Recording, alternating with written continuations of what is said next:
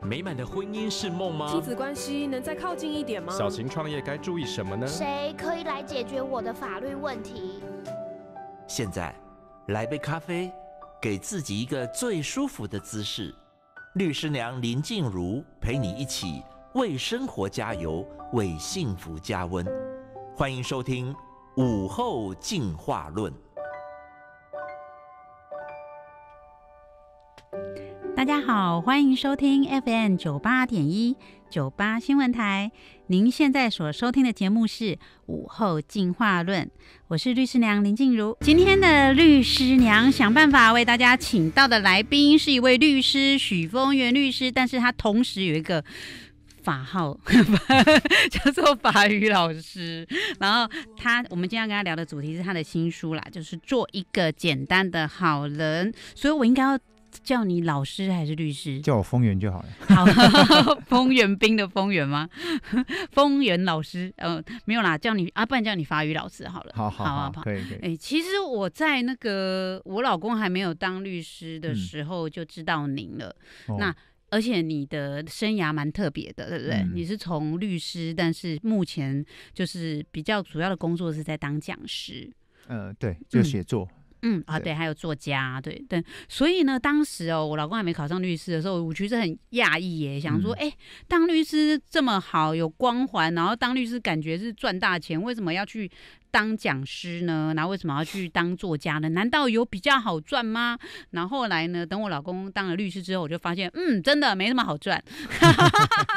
没有啦，开玩笑，我只是想说，哎，其实可以请请那个，呃，就是。公园跟大家聊聊一下，说，哎，其实你已经当了很多年的讲师了，那觉得很特别。说在当年那个时候，大概从什么时候？几年前是开开始当讲师？呃，因为我那时候，我我先解释一下法语两个字哦，因为每次他以为是法号，嗯，因为我有两个专长，我是羽球选手，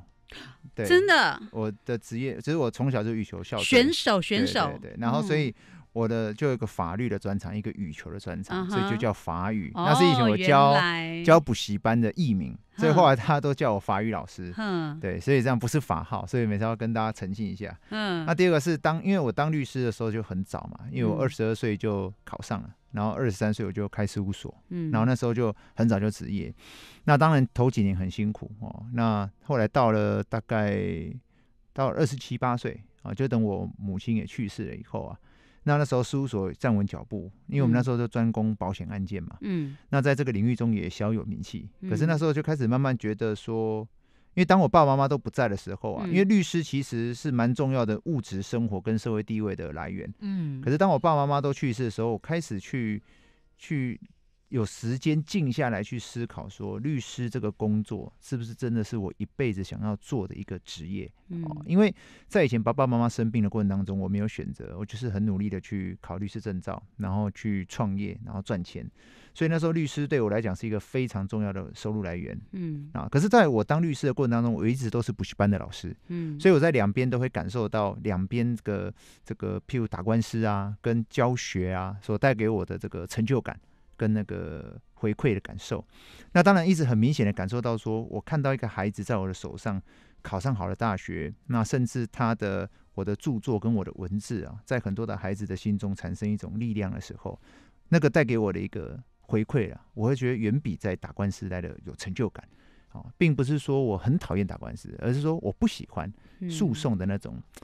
争夺的过程啊，但是我很喜欢在文字与演讲在帮助人的过程当中所得到那种温暖回馈。嗯，哎，这个我感同身受哎，因为我自己本身也是法律系毕业的，然后跟我先生是法律系的同班同学。那我跟我呃先生做了大概十年的八年左右的餐饮业，然后后来我老公才突然想说，哎，他半路突然要跑去考律师，但他是当届就考上了。可是当他考上之后，就我就会有个压力，人家问说啊，你怎么不也去考律师？两个夫妻都是律师多好。可是我就是因为那时候老公刚考上律师，我是有那个机会在粉丝团写文章，然后也很快就有出版社来找我写作，结果我就发现说我比较喜欢做这个工作，因为呃你的文字散发出的力量，它这个广度更广，譬如说你在当律师的时候，你影响的是这个案件的当事人，嗯可是当你的文文章文字出去的时候，你影响的那个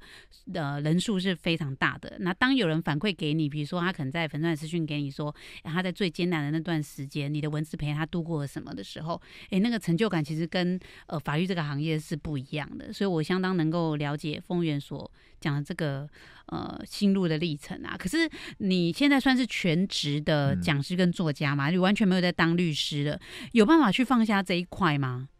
呃，当然讲起来很容易啦，嗯但一般人除非你自己是法律圈，而且你自己知道你花了多少心血去考取律师证照的过程，才知道其实要放下这件事其实不是很容易的。嗯，那当然我也是遇过、经历过一段时间的挣扎。那嗯。到后来，真正让我可以完全放下的一个非常重要的感受，就在于说，呃，当然我也知道说我可以一边把律师做好，我也可以一边好好的做一个作家跟讲师。可是到后来，我慢慢的感受到说，我的销售量越来越高的时候，然后我的这个影响的听众哦跟读者越来越多的时候，其实我会感受到一股很大的一种责任。哦，就是说，当我的书籍卖得好，演讲也逐渐有越来越多的听众的时候，我所感受到的不单是一种成功的喜悦，而是我可以很深刻的感受到一种对于读者们的责任。而这种责任在于说，你能够带给他们什么东西。那当然，人我觉得人都不要觉得太骄傲，就是说，呃，我们都觉得我们可以兼职做好很多个身份，可是事实上我们可能都没有把它做到够好。所以我那时候觉得毅然决然的，我觉得就应该让律师这个生涯呀，随着我父母亲相继离开去世以后啊，结束了他在我生命中的阶段性的任务，然后我就投入了一个未知的过程。但是我那时候很，其实已经很深刻感受到说，写作跟演讲是我生命中命中注定的责任。而且当我们在履行我们命中注定的责任的时候，都会有一种在看不见未来的道路上啊，专注前进的力量。而我那时候就是拥有这样的力量，所以才勇敢的跨出去，这样。嗯，因为我其实从你过去的著作中有看到说，您小时候家境不是很好，对啊，所以我我相信说，在你成长的过程中，对于那个经济的不稳定跟需要的安全感，可能跟一般人比起来是特别的强烈。那当时呢，你有这样的律师指导，有这样子的工作的时候，对你来说，它应该算是一个比较稳定的经济的保障。可是当你放弃掉这一块的时候，作家跟讲师来说，相对于律师，真的是不是那么稳定的行业。这样，因为讲师都是这样嘛，要有人来找你演讲，你才有一场的收入。那呃，出书的话，下一本书卖出多少本，哎，你也没有把握，对，那也不知道现在的读者他喜欢什么，呃，下一下一个世代的读者他喜欢什么，对，所以你要放弃这一块，其实相当的不容易。可是我相信，在你现在的著作，呃，写作的过程中，或当讲师的过程中，在你小时候那些经验，一定是有帮助的。他怎么样去影响到你现在的作品呢？呃，其实我从小的生命体验啊，会让我，因为我们在社会底层长大的人啊，其实会去理解到。每一个人生命中的无奈啊，就是说我我并不会觉得任何人的成功或任何人甚至脸上的笑容啊，都不是理所当然。也就是说，我可以有很深刻去感受到每一个人生命中的喜悦、伤痛啊，甚至是他的难处。所以这带给我很多生命的刻痕。而其实这样的刻痕，其实我写出来之后，其实我觉得可以跟很多人产生共鸣。那至于说，说实话，我当时也会对于经济不稳定这件事会产生有一种。担心哦，或者是疑惑，可是我必须讲，就是说，当我真的跨出去，然后当我非常非常专注的把我内心的很多生命的体悟啊，一个字一个字写下来的时候，其实当我产生很大的影响力的时候，我反而获得更多的贵人的提拔。所以，其实我后来有很多的投资的机会啊，包含台湾跟中国大陆，那所以获得的收入其实并不比会比一个律师差。所以就是人生一个很难以言喻的一个过程，也就是说，所以我才讲说，每一个人都要去履行我们每一个人命中注定的那个责任，嗯，而这样子的过程会让我们拥有一种在看不见未来的道路上专注前进的力量。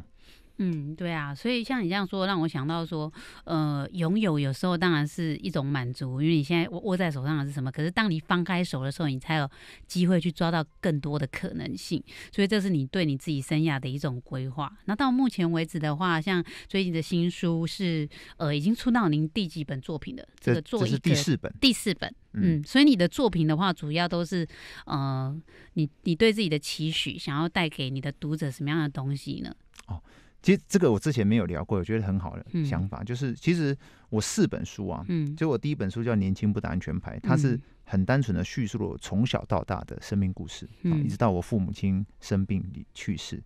然后到了第二本就是我的转型的过程，就是新的强大才是真正强大，嗯，那到了第三本书，就是当我转型为一个专职作家之后，我感受到与读者之间这种 支持与被支持的力量，所以我把它写成了就是叫被支持的力量。然后经过了两年多，才完成了这本叫《做一个简单的好人》。嗯，那事实上这四本书呢，并不是我设定一个主题而写的。嗯，这四本书都是我每一个生命历程的总结。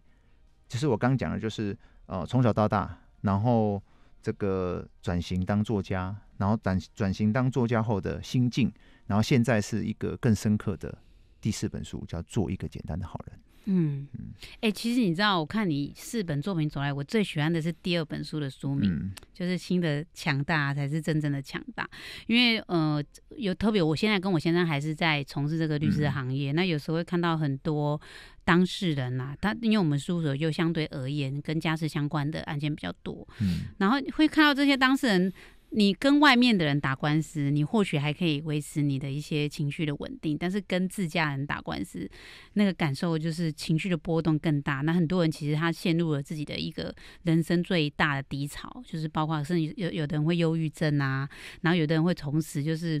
一蹶不振，没有办法再站起来。可是我觉得像你那本书的标题给我的感觉，就觉得说，如果你能够让每个人都体恤到说你的心的强大，你就可以不用。怕任何的打击的时候，包括你跟最亲密的人会产生像这样子的，可能要必须要就是走入一段结束的结局的时候，其实真的觉得对读者的帮助非常大。不过我知道说你的读者有很大一个族群在青少年，嗯，对，为什么会对青少年产生比较大的影响呢？呃，可能跟我早期很早就在补习班教书有关，嗯，对。然后因为我那时候有教这个律师、司法官、书记官班，然后也有教这个升大学的一个科目叫公民与社会，嗯，哦，那所以那时候我一年都会接触上万个高中生，哇，所以我也很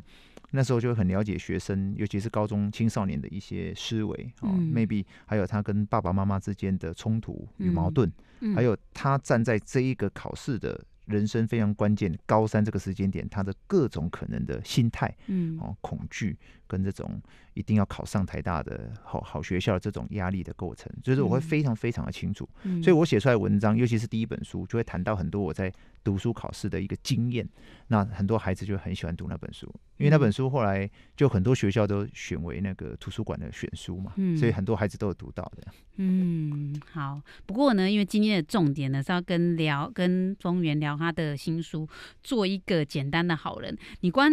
光看这个封面会觉得很特别，因为你曾经是一个律师的身份。然后我在想说，做一个简单的好人是在跟这些坏人讲说你要做好人吗？你的新书是在谈些什么呢？呃，其实这本书是事实上是我这这几年来另外一个很重要的心境啊，就是说，其实从小到大我们都在一种竞争关系中存在哦。那如果就台湾的这个学这个教育体制下，我算是胜利组啊。如果从这角度来讲，算是胜利组。可是我后来慢慢感觉到说，其实一个人活在这个世界上啊，最强大的并不是你能够赢过别人，嗯，而是你能够进入一个人的生命之中。活在一个人的心中，嗯，我觉得这是一个非常非常困难的，因为无论你拥有再多再多的金钱，或者是地位，或者是才华，都不代表你可以真正的进入一个人的生命之中，活在一个人的心中。那这是我认为一个最困难的地方。可是，而尤其当你进入一个人的生命之中啊，活在一个人心中的时候，我们会获得他们对我们百分之百毫无保留的信任。可是这种信任不是一种胜利。而是一种责任，因为当我们获得一个人对我们百分之百毫无保留的信任的那一瞬间呢，我们的起心动念会决定我们到底是一个什么样的人。而我后来得到一个很深的心得，就是啊，只有一个真正的简单的好人，可以进入一个人的生命之中，活在一个人的心中，因为他够简单、够善良。而也只有一个简单的好人，可以承担起这世界上无数的人对他百分之百毫无保留的信任，因为他够简单、够善良。所以，好人有分复杂的好人跟简单的好人吗？有什么不一样呢？呃，在我来看呢，嗯，其实每一个人内心都有一个善念的太阳啊。那唯一的区别在于说，这个太阳外面有多么深厚的乌云啊。就像我认为说。我们常遇到在以前法庭上，哦，一些十恶不赦的死刑犯，或者是一些重犯下重大犯罪的人，maybe 在所有的社会的人来看，他是个坏人，可是，在他的真正的家人的眼中，他不一定就是这么的坏，嗯，或是至少在他的母亲心中，也就是说，其实每一个人在不同的人的面前会有不同的面相，嗯，而我来看，一个在社会评价再坏的人，他的内心都有一个善念的太阳。但就看乌云有多么的深厚，所以在我来看，其实每一个人都可以是好人，而每一个人也都想当一个好人。嗯，但是 maybe 也许因为社会环境的关系，因为他的从小历练的关系，也许他的生命的遭遇的关系，让他不得不成为一个坏人。这是我个人对人的基本看法。嗯，所以我想，如果说我们你过去在职业当律师的生涯中，呃，一个律师跟一个犯了可能刑事重罪的被告，他们之间也可以用你的这本书来诠释嘛？就是他们谁跟谁，呃，哪两哪个角色之间都可以做一个简单的好人嘛？呃，其实我觉得人都是有改变的可能性。嗯，但是。这个改变的可能性不代表他在，也许在他这辈子来不及改变了。嗯，但是我认为一个坏人，也许他有可能成为一个好人。嗯，而一个好人也有可能成为一个坏人。嗯，所以我觉得他是说不定的。嗯，就是我我不喜欢呃很快去定义一个人，好像一个框框，就说他就是个坏人。嗯，他就是一个好人。嗯，那尤其是在打官司的过程当中，其实会知道有一些人他在犯案的时候，其实是有他的无奈性。嗯，尤其是我从小在。道光出啊，斗寒会有很多的黑道或者是道上的兄弟。嗯，其实道上的很多的兄弟，不见得就是坏人。嗯，他们有他们的无奈。嗯，哦，那所以我来看，就是说，我不喜欢很快的去把一个人下了一个定义。嗯，哦，可是呢，他确实做了不好的事情，他就必须接受这个不好的事情的惩罚。嗯，或者去承担这个结果。嗯，可是他做了一件坏事，不代表他永远都不能成为一个好人。嗯，在我来看。如果我们有人力在他生命当中给他一点点的机会，哦，就像我常讲，一个再坏的人，嗯，都想要在他发自内心敬重的好人的面前当一次好人，嗯，而当我们可以成为那样子的好人，可以影响一个大家认为是坏人的人的时候，嗯，那是一个生命中非常难得的缘分，嗯。嗯，所以律师的角色在这当中有办法做一个推波助澜的角色吗？呃，律师他的工作确实有他的难度，嗯，但是也不既难不可能，嗯，哦，当然又就像很多的人权律师啊，我们有很多的案件啊，很多的这个过去很有名的一些冤狱案件啊，都是因为有一批律师经过了十几二十年，始终相信他，嗯，他才能看见最后的冤狱平反的那个曙光，嗯，所以律师在这方面的功能也是非常强大的，因为你要期待。这个院方跟检方在这方面有一点点难度，因为毕竟是检方起诉的嘛，哦，那院方在证据的表面上，他或者在时代威权时代的背景下，他也不得不判，嗯，但是一定要有辩护人的存在，才有办法让这样子的冤狱去获得一点曙光，嗯，而这个过程当中，这一个被告感受到被律师发自内心的信任的这种力量。会是支撑他走过这一段很黑暗的道路的过程，嗯，非常重要的力量。嗯，所以你呃，当为律师是有可能把你手上的被告变成一个简单的好人的。好，那我们先进段广告，待会回来呢，继续跟呃风云聊聊他新书里面就是怎么让你做一个简单的好人。我们待会回来。欢迎回到九八新闻台午后进化论，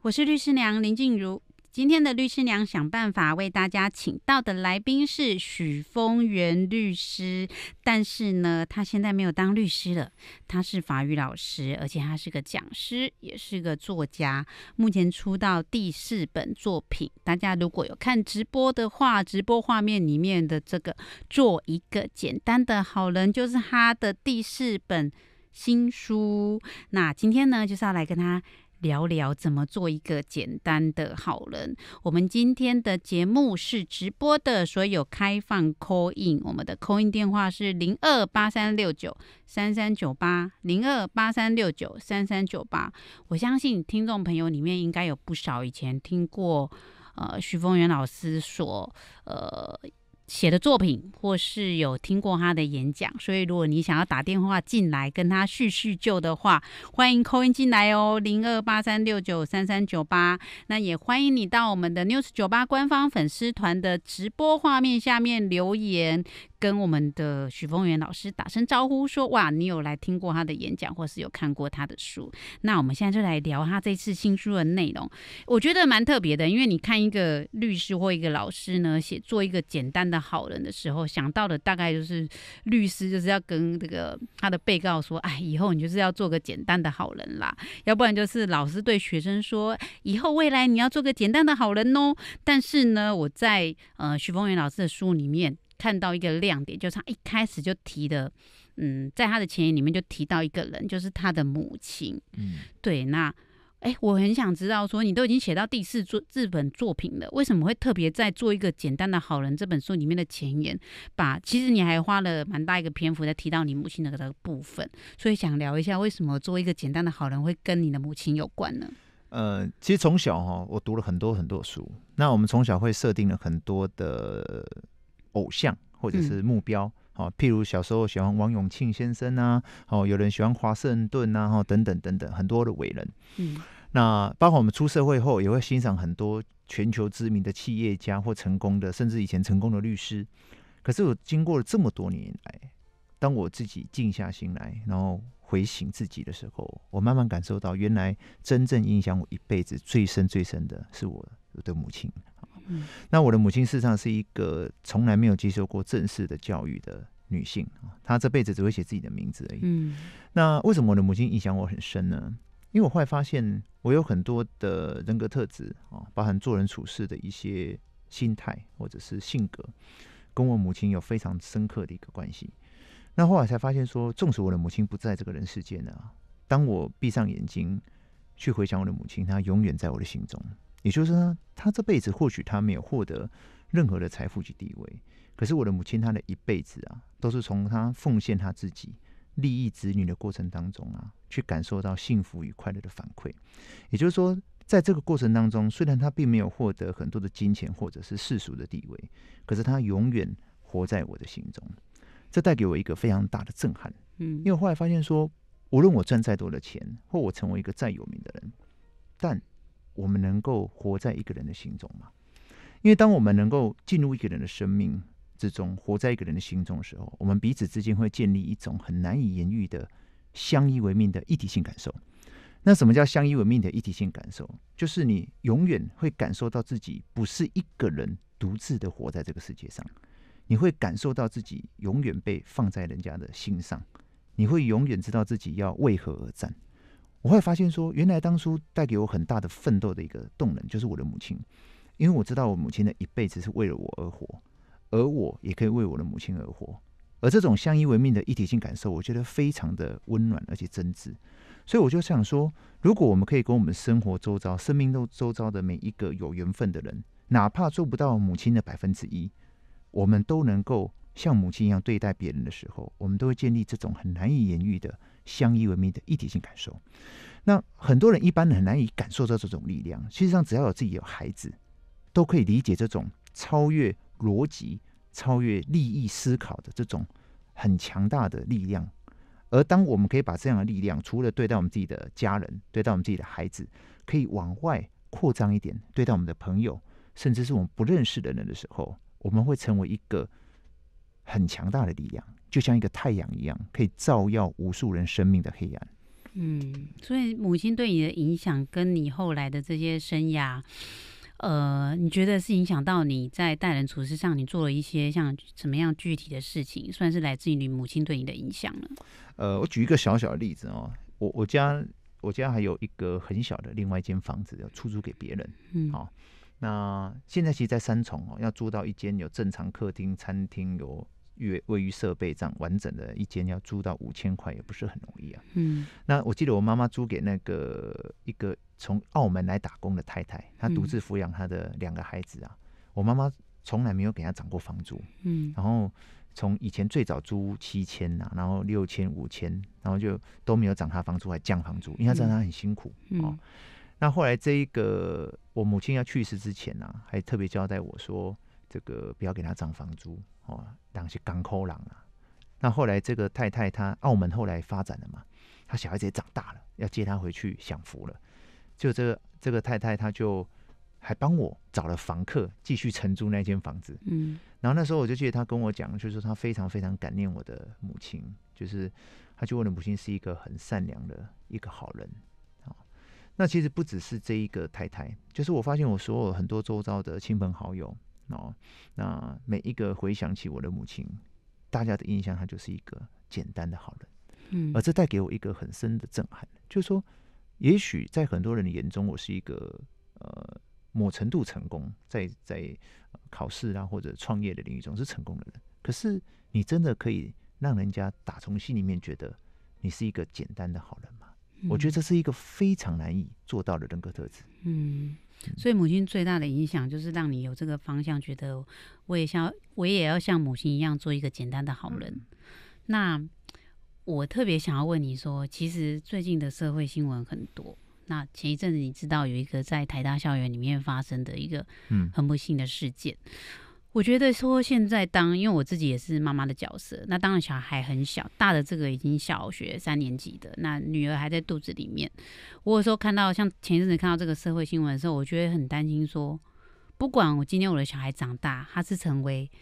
加害别人或是被害。别人的人，我都是很痛苦的。即使是当加害的那个人，就是爸爸妈妈要承受的社会压力也很大。那当然，你对小孩子这边发生的事情的心痛是更更大的。可是，我觉得在想说，整个教育的过程中，为什么就是孩子没有感没有办法去感受到父母对他的爱？那如果你对你的母亲感受到的影响这么深，那我自己是个母亲，你可不可以告诉我说，母亲要怎么做才能够？对他的小孩发生最大的影响力，因为很多妈妈会觉得说，可能小孩是青少年，我怎么讲都讲不听啊，我也不希望我小孩是去害人呐，他就是要去做害人的一些事情。我也很爱我的小孩啊，可是我不知道我该怎么做才能够把我正面的一些价值观给传达给他。那你母亲是做了些什么，把他的这些正向的价值观都传达给你呢？呃，我我必须讲哈，我刚刚有讲，因为我母亲她没有念过书，嗯，所以譬如在课业上，嗯，我母亲一辈子是没办法教我课业的，我父亲也没有念过书，嗯，啊，所以我父母亲他是没有去在教育我这件事情，嗯，那至于刚律师娘所说的那一个过程，其实我父母亲给予我的是一种榜样，一种我发自内心的了解到我的母亲她是一个好人，嗯。那这个带给我是一个很深刻的身教，也就是说，我的母亲不论对待任何，在在我小时候那个年代啊，越南新娘刚嫁来台湾是很没有社会地位的。嗯，那我记得我一个亲戚他娶了越南新娘，然后大家都有有一些人有排挤他，可是我的母亲完全没有排挤他，而且对他非常的好。那我的母亲她这辈子她做的每一件事都会让我感受到，而且她是一个非常非常孝顺的人。那这给我一个很深的感受到，就是说，其实当一个爸妈，包括我自己现在也是一个爸爸，那我会觉得说，其实知识教育啊，或者是技能教育啊，其实都是有限的啊。人的一辈子能够让自己的孩子教育成一个简单的好人，他的生命会转化，也就才能够转运造命。嗯，那我记得我在今年在写给我小孩子的红包袋，我每年都会写红包袋祝福他们啊。我写了三句话，我说啊。对人好，别人也会对我好；说人好，别人也会说我好；希望人好，别人也会希望我好。我告诉我三告告诉我两个孩子啊，你这辈子只要能够踏实的做到这三件事情，你的一生就能够转运造命。或许会遇到不顺遂，但是最后都会逢凶化吉。嗯，因为你帮你自己制造了很多贵人，嗯，在你的未来的路上，嗯。不过你刚刚讲的没有那么清晰，但是在你整个讲的过程中，其实我从你妈妈身上。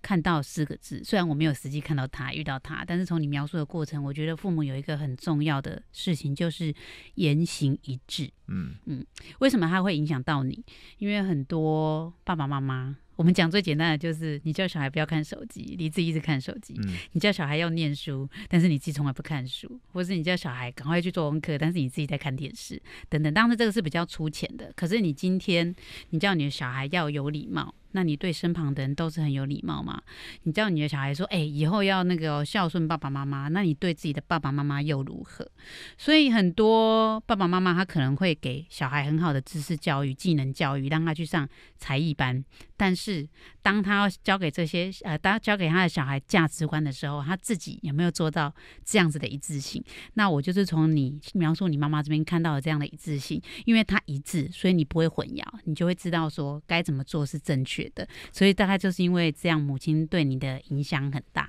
那我们先进一段广告，待会回来呢，就是呃，再跟那个许凤云老师聊聊。除了这个之外，我还在你的书中看到一个亮点，就是除了做一个简单的好人，还要做一个有故事的人。来听，等一下广告回来你怎么说？欢迎回到九八新闻台午后进化论。我是律师娘林静茹，今天的律师娘想办法为大家请到的是许峰源律师，那他同时也是法语老师，呃，是位讲师，也是位作家，目前出到第四本作品，做一个简单的好人，所以今天聊的主题就是他的新书。那在新书里面呢，看到许峰源老师他有提到说，除了要做一个简单的好人之外，他还说要做一个有故事的人，我有一点疑问哈，因为如果你要讲故事而言的话，每个人的生命都是故事啊，那为什么还要特地去做一个有故事的人呢？嗯，这个有故事的人其实是对于大家的一种期许，就是说，其实每一个人绝对不可能一生顺遂，嗯，我们在我们的一生当中必然会遭遇到。某些我们自己不想遭遇到的不幸与伤痛，嗯，那当我们遭遇到很多生命当中的来自于无常与苦厄的不幸与伤痛的那一瞬间啊，我们第一个直觉就是说，为什么是我？这是很正常的反应，嗯，包含当时我面对我父母亲相继离癌生病的过程当中，我也觉得为什么是我？嗯，我觉得非常的不公平，嗯，可是当我当我这样一路走来的时候，我慢慢理解到，原来。我们生命当中所遭遇到的任何的不幸与伤痛，嗯，都是命中注定。命中注定吗？也就是说，老天没有办法避免吗？呃，我来看，嗯，当他来了。它就是出现了。当它已经出现了，再谈避免已经是没有意义的。嗯，也就是说，每一个生命当中的不幸与伤痛，在我来看是命中注定。但是这个命中注定不是一种宿命论，嗯，而是在告诉你，每一个人所承受的不幸与伤痛，会在我们的生命当中留下一种刻痕。嗯，而这样子的刻痕，会让我们产生一种能量，嗯，会让我们理解别人遭遇到的不幸与伤痛。嗯。就像我有一个，我昨天有个大哥跟我讲说，他只要超过五层楼啊，他就会有惧高症，还有恐惧感。我三层就惧了。好好问题。所以当有一个人跟你谈到惧高症的时候，你一定会感受到他的恐惧是什么。嗯。而这就是你生命的潜能。嗯。一个最强大的人，并不是你在各方面的条件赢过别人的人。一个最强大的人，是你能够理解每一个人。就是你能够理解每一个人生命中所遭遇到的这些难处、不幸与伤痛，就像你家里假设从来没有人去世过，你很难理解亲人去世的那种说不出话来的感伤。很多人说很难过会大哭一场，我说错了，真正的难过是哭不出声音的。嗯，这就是一种你一定要经历过，你才能够感同身受。嗯，而这种感同身受就是每一个人蓄积在你身上的力量，所以终有一天我们会体悟到啊。伤痛在哪里啊？帮助别人的力量就在哪里。嗯，你讲的这个，我觉得在我们现在的教育体系当中非常的重要，就是我们没有一块教育体系接触到这个叫做同理心，嗯，因为你你说到感受别人的痛苦嘛，对啊，那其实它是属于同理心的一块。那我会觉得说，现在的孩子有时候他们他呃承受挫折的力道没有办法这么大，是因为他没有看到别人更大的伤痛，嗯，然后他会无限扩大自己的伤痛。从小时候开始，你可能没有拿到一个玩具，你想要的玩具，或是你在成长的过程中，你觉得呃朋友好像对你不够有那种。把你看成好兄弟的感觉，或者是你在大一点的时候，你谈恋爱，你得不到一个你喜欢的人他的爱慕等等这样，然后或者你在追求事业的时候，你没有办法得到你想要的一个成就感，在这个过程当中，就是哎，你好像会觉得很重要，你很痛苦，你很难过，你得不到，可是有时候你没有看到说，其实你拥有的东西很多。那如果你能够同理别人的失去，比如说有些人甚至是像我前两天刚好去那个。桃园那边做志工，那那边是身心障碍者，他有的身心障碍者已经到六十几岁了，还在那个院里面，就是等于是因为他的爸爸妈妈也不在了，所以他唯一的陪伴就是只得留在这个疗养院当中。那有时候他们就会邀请一些志工群人陪伴他们做一些可能环境的清理啊，或是做做蛋糕啊，或者玩玩游戏也 OK。但是因为他们是身心障碍，所以呃，虽然他看起来六十几岁，但是我们很像在陪一个十岁的小孩子玩。那我有时候都会想要说，哎，带自己的孩子去接触这些人，因为当你看到很多人没有拥有什么样的东西的时候，你才能够了解说，你已经很幸福，你拥有什么，你应该要珍惜你所拥有的，然后去同理说，哎，别人得不到你这些理所当然拥有的东西，嗯，所以很认同你刚刚说的。那除了这个之外，我觉得在书中还有一个比较。特别的观点就是说，哎，一般人都在讲说，我们的工作呢就是要有热情。当你有热情的时候呢，就可以帮你得到很多的成就感，那你有办法继续走下去。结果我在你的书里面看到说，热情不够，日程热光靠热情没有办法让你支撑走完全部的路。为什么你会这样说呢？那在你当律师或是当作家的路上，如果除了热情之外，靠你支撑到走到最后的又是什么呢？呃，其实因为很多的人都会告诉我们做一件事情要热情啊。那其实我并不是反对热情，热情很好哈。就是说热情能够做自己喜欢做的事情，做自己热爱做的事情也很好。嗯。可是那热情燃烧完了以后，剩下的是什么？嗯。我我只是分享我个人的观点，就是说我这样一路走来啊，热情会让我们得到我们想得到的，譬如金钱啊，譬如名气。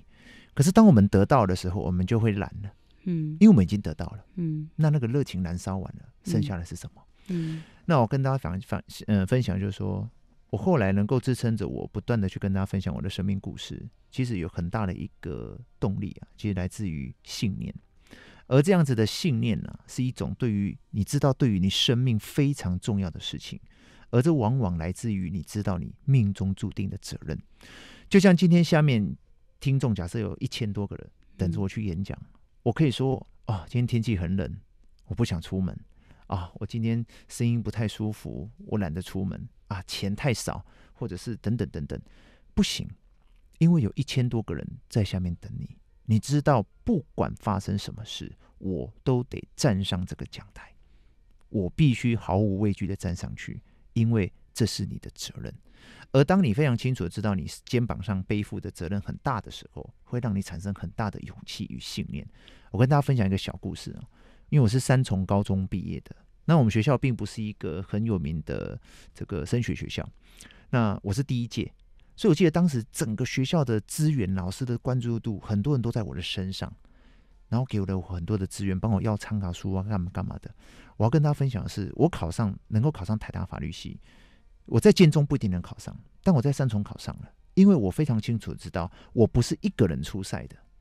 我在我的肩膀上是背着我们整个三重高中所有的老师与学生的期盼而出赛的。这种心境就像我当一个选手的时候，最强大的感受是，我是代表台湾出赛的，我不能够让台湾丢脸，我会在关键的时刻撑过去，而这就是力量。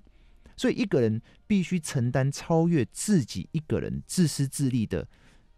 过程去承担更大的责任的时候，它会让带给你同等甚至更大的力量。